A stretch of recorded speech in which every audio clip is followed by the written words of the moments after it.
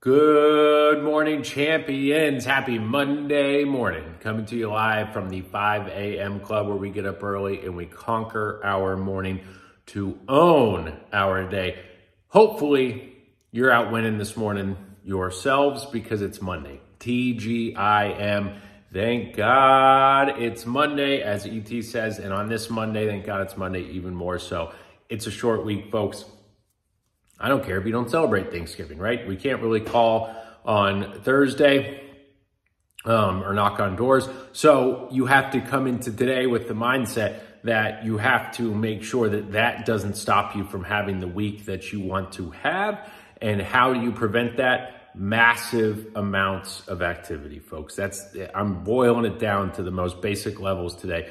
Massive activity will create results we always have people have record weeks on Thanksgiving. Why? Because people's minds are on what's most important to them at this time of the year, and then that is almost always family. And when family is already on their minds, it's not as hard to sell the love.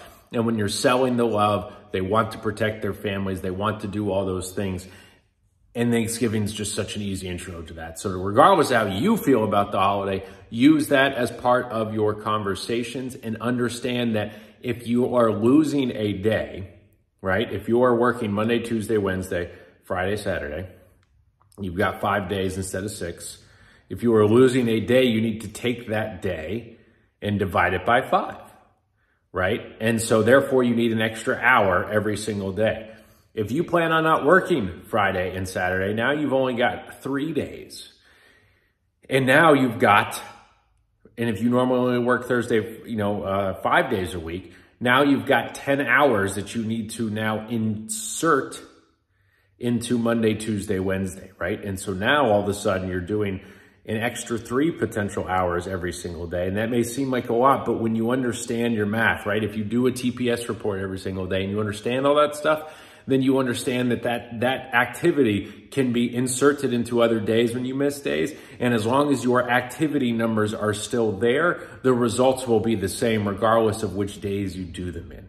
And so when you come into Monday with that mindset, you need to come in awake, fired up, ready to go this morning on Zoom, camera on, dressed, ready to go so that the minute it ends this morning, you're on the phone or, or you're at your first appointment.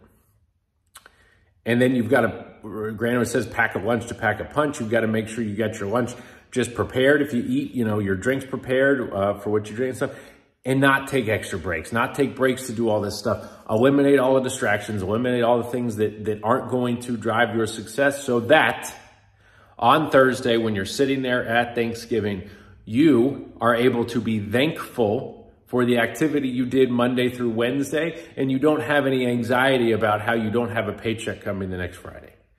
So be thankful for the effort you put in Monday, Tuesday, Wednesday, and give it 110% and do everything you can. So that begins with this morning. Get up, get moving, get on Zoom, we will see everybody on Zoom and let's have a monster record week. But come into this morning with that mindset that whatever you plan on working, divide that out, get your activity in and understand that that's what it takes, even if you got to work late a couple extra days so that we can all be thankful for our successes on Thursday. Let's have a fantastic day. Aspire to be better today than you were yesterday. Be amazed where you end up. See you guys on Zoom soon. I'm out. Woo!